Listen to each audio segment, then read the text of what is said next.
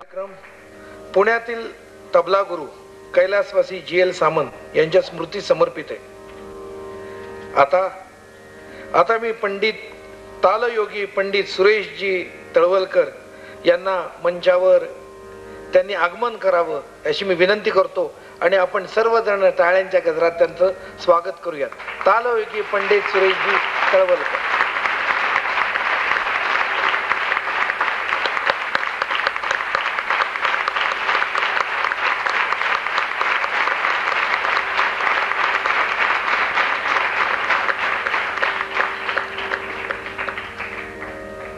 अपूर्व अशा तालमालेच्या संगमावर आपण सगळेजण उपस्थित आहोत.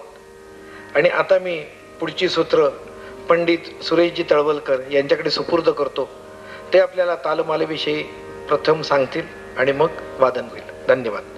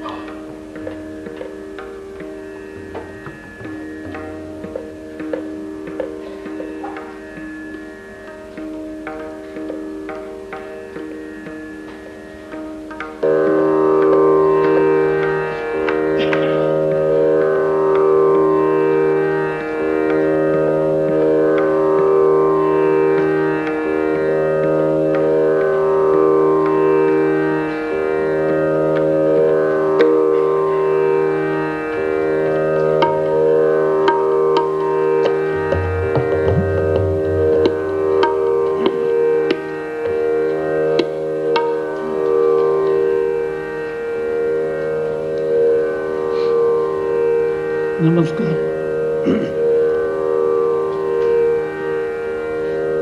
मी तालमालेला सुरुवात करण्यापूर्वी छोटी भूमिका विषय करू इच्छितो.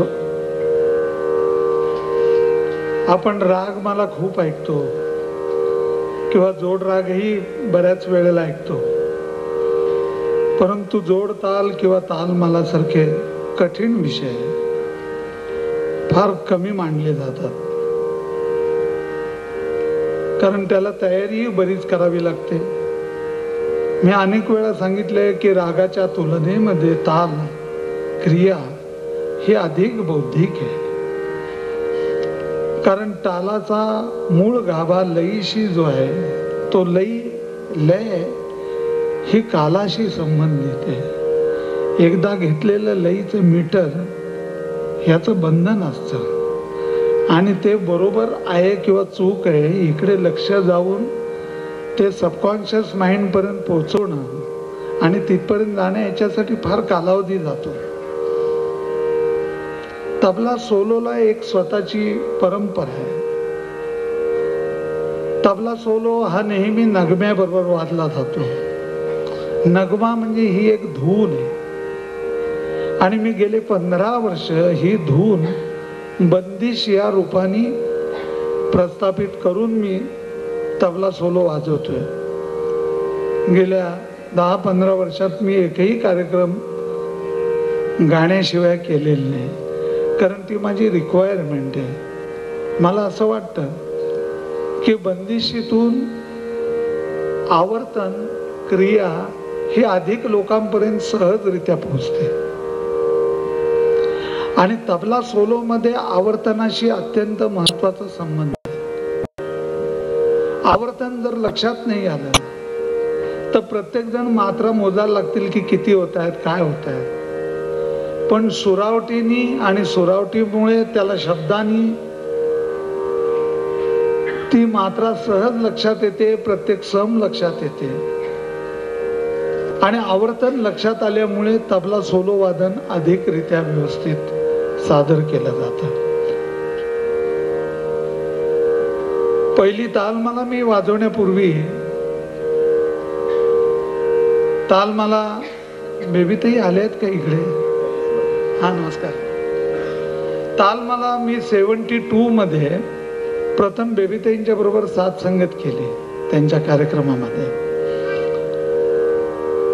आता मी सादर करणारे ताल मला ती फार वेगळी आहे आणि बेबीताईंबरोबर जी वाजवलेली तालमाला आहे ती मी नंतर इंटरवल नंतर वाजवणार आहे. मी दोन भाग केले आहेत. कारण तबल्याचं साहित्य हे फार अफाट आहे मोठं आहे आघाध आहे. तबल्याच्या साहित्यामध्ये बंदिशीचे अनेक फॉर्म्स आहेत.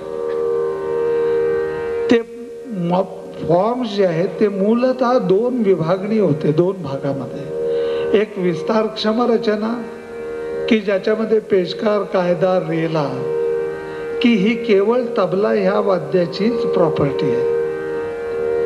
पेशकार आणि कायदा ह्या दोन्ही क्रिया कुठल्याही परकशन इन्स्ट्रुमेंट वरती वाजत नाही. फक्त तबल्यावरती वाजतात. आणि मग त्याच्यानंतर अविस्तारक्षम रचनेमध्ये गत परण तुकडा चक्रधार ह्या ज्या रचना आहेत ही तर मूलतः पखवाजाची प्रॉपर्टी आहे. आणि ह्या पखवाजाच्या क्रियेतून त्या खुल्या पर्ण किंवा चक्रधार गती अशा ह्या सगळ्या रचना ज्याला म्हणतो. तर ही दोन भागामध्ये विस्तार केलेले आहेत. कोणी कोणी याला वेगवेगळ्या शब्दांनी म्हणतात. पेशकार कायदा रेल्याला कोणी कोणी म्हणतात की ही कायदा संतती आहे. आणि इतर ज्या रचना आहेत अविस्तार क्षम रचना किंवा पूर्ण संकल्पित रचना असं आमचे सत्यशील देशपांडेंनी शब्द दिलाय की जो माइंडकरंजींच्या पुस्तकामध्ये वापरलेला आहे. शब्द काय म्हणायचं?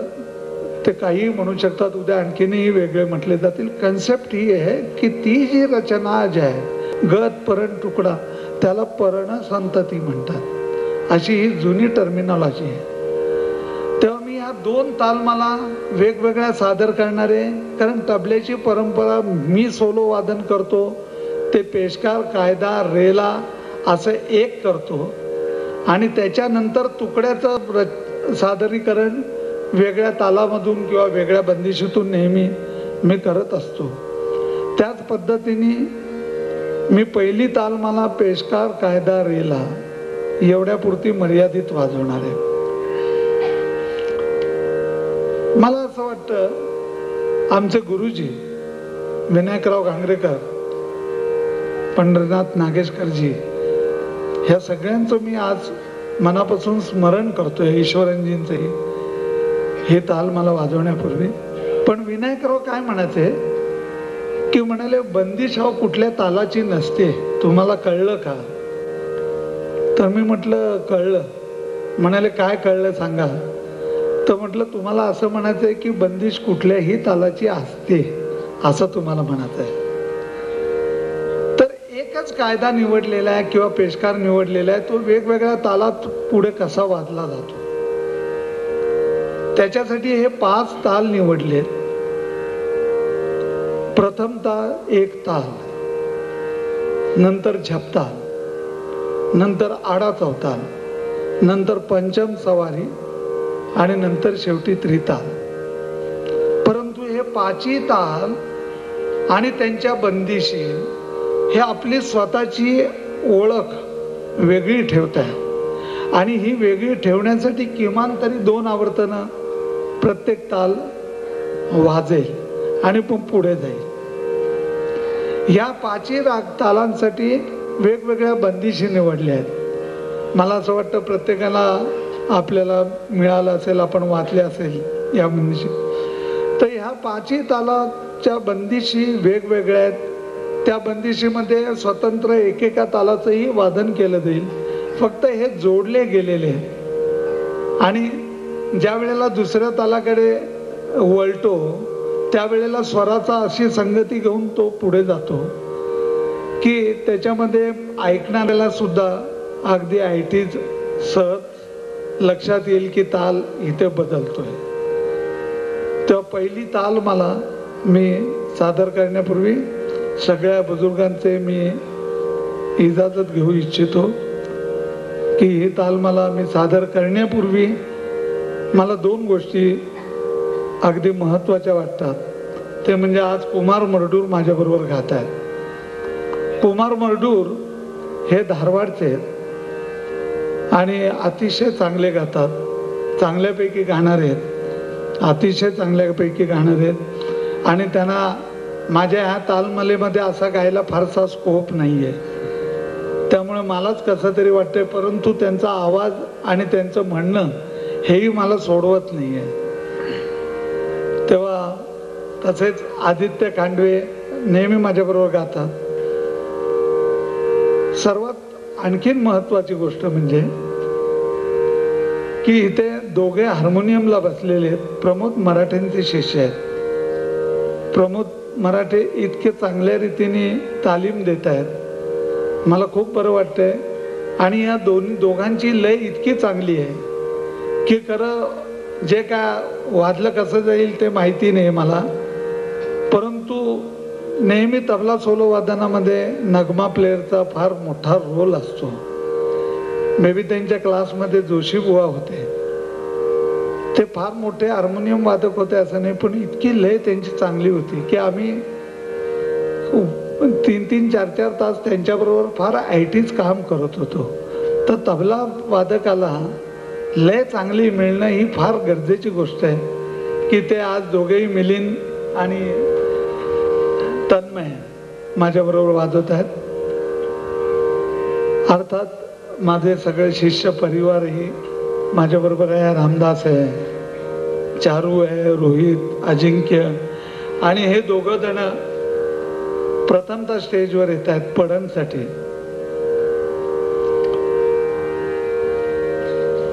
तन प्रणव आणि ईशान असे दोघे पडण करणारे कोल्हापूरचे माझे विद्यार्थी आहेत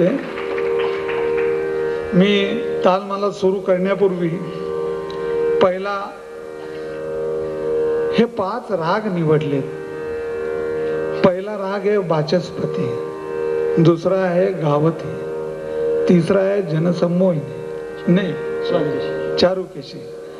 मग आहे जनसंमोहिनी आणि नंतर मिश्र कमाज असे पाच राग ह्या राग मलाही याला म्हणता येईल की पाची रागामध्ये या बंदिशे कंपोज करून ही ताल मला सादर करतोय.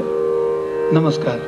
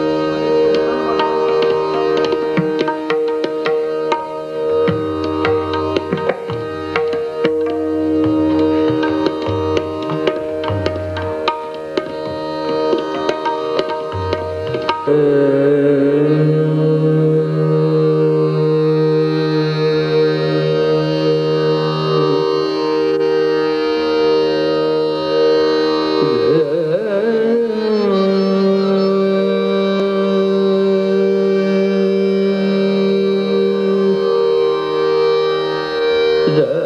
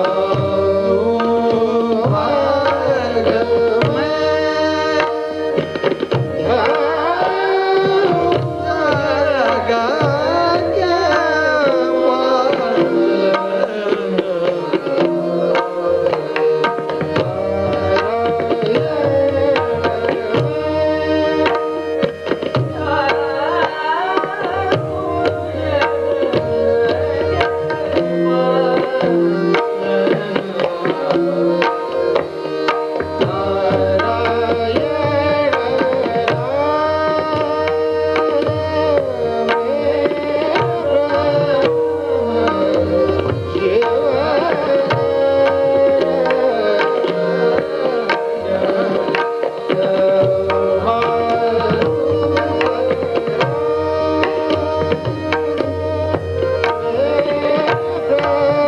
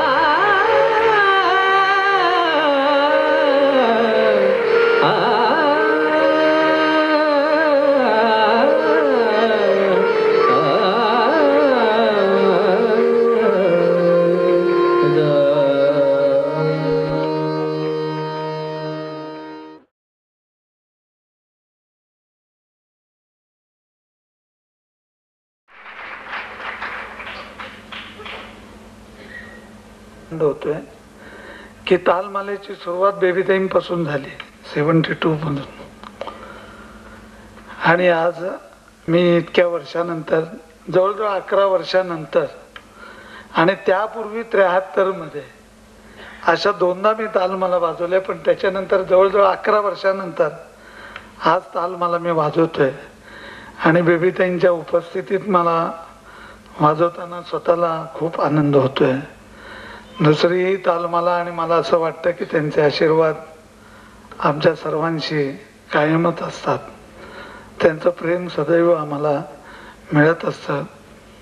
इथे अनेक बुजुर्ग लोक आहेत माझे मित्र लोक आहेत.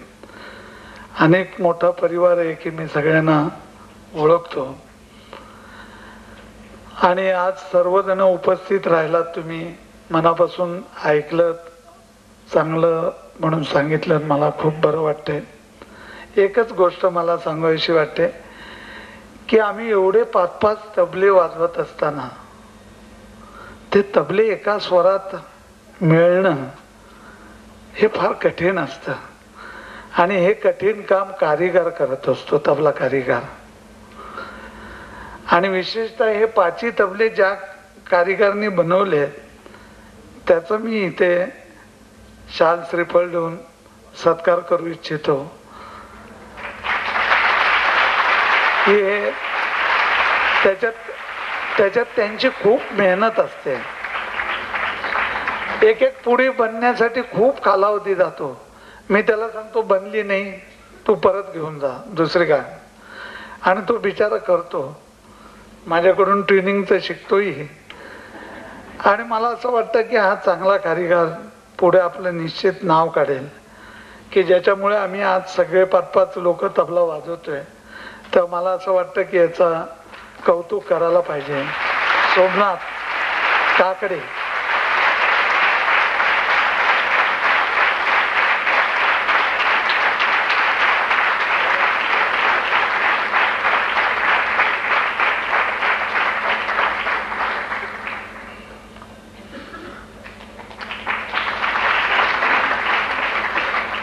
आणखीन एक सत्कार करणं आवश्यक आहे. हा सगळा घाट घाटलेला पडद्यामागचा कलाकार. या कार्यक्रमाविषयी आशीर्वादपर दोन शब्द रोहिणीताई भाटे यांनी बोलावे अशी मी त्यांना विनंती करतो. खूपच प्रवास झाला लांबलचक बहात्तर ते आजपर्यंत. आणि अनेक चित्र म्हणजे डोळ्यासमोरून जात होती.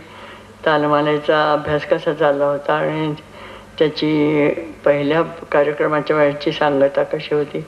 त्यानंतर मी पुष्कळ त्याच्यामध्ये वेगवेगळे प्रयोग केले.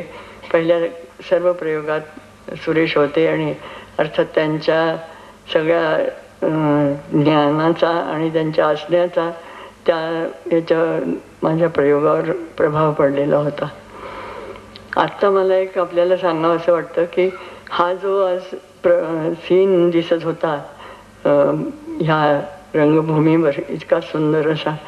असा सीन या पुण्याशिवाय कुठेही रंगत नाही असं मला वाटतं. कारण मी दिल्लीचा ऑडियन्स पाहते मुंबईचा पाहते आणि अशाच बाकीच्या शहरांचा पाहते. पण पुण्या पुणं जसं ह्या सगळ्या गोष्टीला उचलून धरतं आणि खुलवतं आपल्या नुसत्या ह्या वास्तूत असल्याच्यामुळेच ते खुलवतं. तसं इतरत्र होत नाही. आणि इथे चेहरेही मी पाहते कलाकारांचे की ते इतके उत्फुल्ल असं एक तळं आहे सुंदर आणि कमळं आहेत असं वाटतं. इतकं सुंदर दृश्य आज दिसत होतं. एकंदर तो नाद आणि तो हे पाहायला म्हणजे हे ओंकार ब्रह्म सगळं इथे जागं झालं होतं की काय चेतन झालं होतं असं वाटतं. आणि असा अनुभव घेऊन आपण सर्व आज घरी जातो आहोत. त्याच्याबद्दल एक देवाची कृपाच आहे असं मी म्हणेन. सगळ्या कलाकारांना माझे आशीर्वाद आहेत. आणि सुरेशला तर सुरेशला काय म्हणायचं ते माझ्यापेक्षा मोठेच आहेत ज्ञानामध्ये. तेव्हा मी त्यांना आशीर्वाद म्हणू शकत नाही. मी त्यांना नमस्कार म्हणते.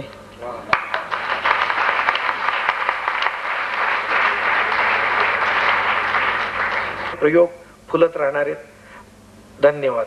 आता लगेचच उत्तर रंग सुरू होतोय.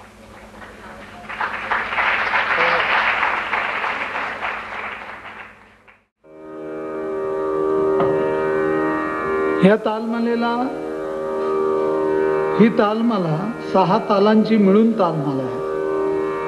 पहिला ताल त्रिताल दुसरा झपताल तिसरा धमाल चौथा चौताल पाचवा रूपक. आणि सहावा अष्टमंगल अकरा मात्रा. या सर्व तालांची साही तालांची एकच बंदिश आहे. या एकाच आवर्तनामध्ये सहा ताल गुंफलेले याचा उपयोग या बंदिशीचा उपयोग आम्ही चक्रधार परण याच्यासाठी करतोय.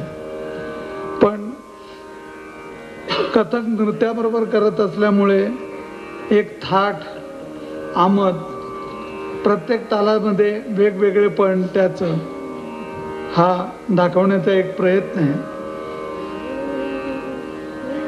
या कथक नृत्यामध्ये शांभवी व तिच्या सहकारी कलाकार आहेत परंतु दोन कलाकार मुक्ता आणि श्रीकला. ह्या क्षमाताईंच्या शिष्य आहेत. खरं तर मला ही ताल मला अजून मोठ्या प्रमाणावरती करायची इच्छा होती पण वेळ कमी आहे. मिळाल्यामुळे अवेलेबिलिटी झाली नाही. त्यामुळे ही सगळी ताल मला यातल्या तालाच्या रचना मी शांभवीला सांगितल्या. काहींची भाषा त्यांना अगोदरच माहिती आहे. त्यामुळे काही रचना या क्षमाताईंकडून सुद्धा मुक्ता आणि श्रीकलाला मिळालेल्या आहेत.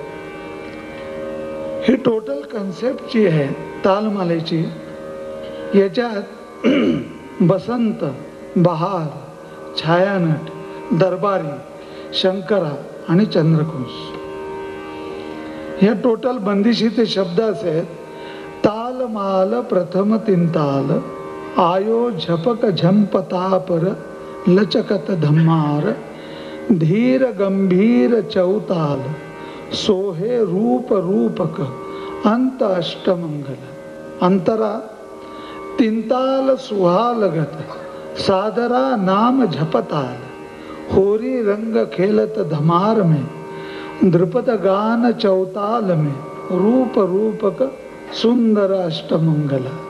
ताल माल प्रथम तीन ताल राग बसंत बहार छायानट दरबारी शंकरा आणि चंद्रकुंस